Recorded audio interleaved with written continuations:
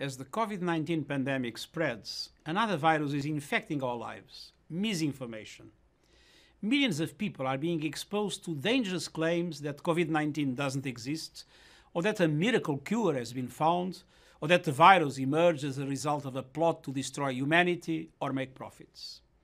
A tsunami of hate, xenophobia, scapegoating, and scaremongering has been unleashed. This infodemic is proliferating and potentially deadly. We cannot cede our virtual spaces to those who traffic in lies, fear, and hate. Misinformation spreads online, in messaging apps, and person to person. Its creators use savvy production and distribution methods.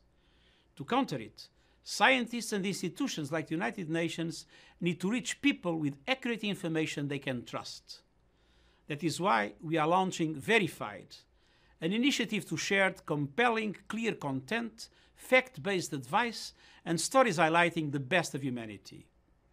With Verified, we can fight lies and conspiracies with science and life saving advice, hate speech with solidarity, despair with hope and with solutions for how to recover better.